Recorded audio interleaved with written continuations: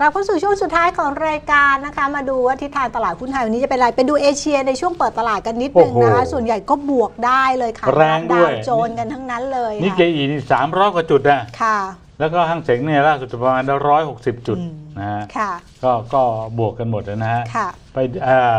เดี๋ยวเดี๋ยวก่อนที่จะมาดูตลาดนะฮะค่ะเตือนนิดหนึ่งเตือนนิดหนึ่งตอนนี้มีบริษัทจดทะเบียน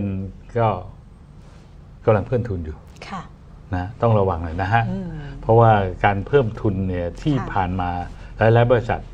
มันเป็นการเพิ่มทุนเพื่อใส่ฟอนเงินอ่าเพิ่มทุนแล้วไปซื้อทรัพย์สินค่ะแล้วขยายกิจการนะฮะก็เคยเตือนแล้ว บริษัทที่ขยายกิจการไปต่างประเทศ ตั้งบริษัทลูกจนนับไม่ถ้วนนะเจ้าของเนี่ยยังงงอะโอ้ตั้งมาแต่ว่าตั้งมาแล้วมันเป็นช่องทางในการผ่องถ่ายผ่องถ่ายไซฟอนเงิน ต้องระวังนะครับค่ะอย่าคิดว่าโอ้ยเขาไปลงทุนนี่เวียดนามไปจีนไปนู่นไปนี่นะ ถามว่าเก่งขนาดนั้นเถอะค่ะนะแล้วของจริงหรือเปล่าอืมไปลงทุนแล้ว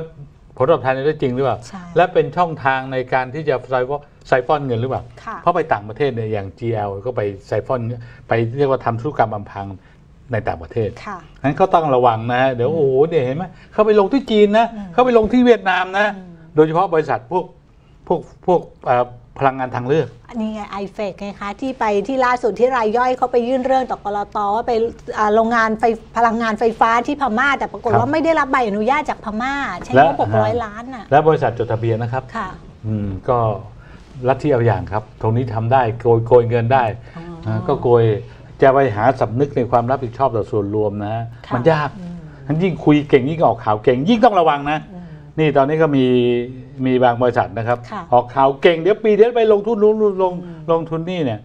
ต้องระวังต้องระวังค่ะนะฮะอ่าอย่าคิดว่าเอ้ยเดี๋ยวเราเข้าไปออกไปแป๊บเดียวนะฮะอืมถ้ามีกองเชียร์เยอะให้บางทีกองเชียร์ไอ้สื่อที่เชียร์เนี่ยบางทีไปรับโฆษณาเขาก็มารับเชียร์เขาด้วย ค่ะ ต้องระวังอืมนะก็ต้องพิจารณาให้รอบครอบ แล้วตอนนี้เพิ่มทุนก็ระวังด้วยนะครับ บริษัทค่ะที่เพิ่มทุนเนี่ยอืมนะฮะ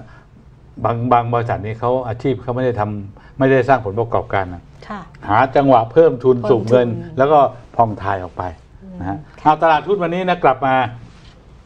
ก็ดูแล้วนี่นะครับค่ะปัจจัยภายนอกค่อนข้างจะยังเอื้ออยู่นะราคาน้ำมันปรับตัวลงมานิดหน่อยนิดหน่อยข่าวร้ายไม่มีค่ะแล้วต่างชาติก็เริ่มชะลอการขายอืมนะเมื่อวานนี้กลับมาซื้อด้วยซ้ำไปค่ะแต่ว่ารายย่อยก็ขายนะฮะค่ะอ่ามันจะถูกตึงด้วยอย่างเงี้ยถ้าราคาหุ้นขึ้นไปแรงนิดหนึ่งค่ะคนจะชิงจังหวะขายทำกำไรเลยเพราะว่าเชื่อว่าช่วงนี้เนี่ยตลาดหุ้นไปไหนไม่ไกล ลงไม่มากขึ้นก็ไม่มากค่ะแกว่งตัวในกรอบแคบอืมๆดังนั้นถ้ามีกำไรก็คิดถูกแล้วครับค่ะขายออกก่อนปรับขึ้นมาแล้วการการชิงจังหวะขายทำกำไรในช่วงเนี้ยจะทำให้เป็นตัวต้านในในขาขึ้นค่ะหุ้นจะขึ้นไม่ค่อยได้ไกลอืมแนวโน้มวันนี้ก็เหมือนเมื่อวานนี้อืมแกว่งตัวในกรอบแคบค่ะๆอาจจะแกว่งตัวระหว่างชั่วโมงซื้อขาย แต่ปิดเนี่ยบวกหรือลบก็ไม่มาก ค่ะ ก็ในกรอบแคบนะคะ เอาละค่ะ วันนี้หมดเวลาแล้วนะคะสำหรับรายการคุยคุยหุ้นนะคะ เราทั้งสองคนรวมถึงทีมงานลาไปก่อนนะคะ สวัสดีค่ะ สวัสดีครับ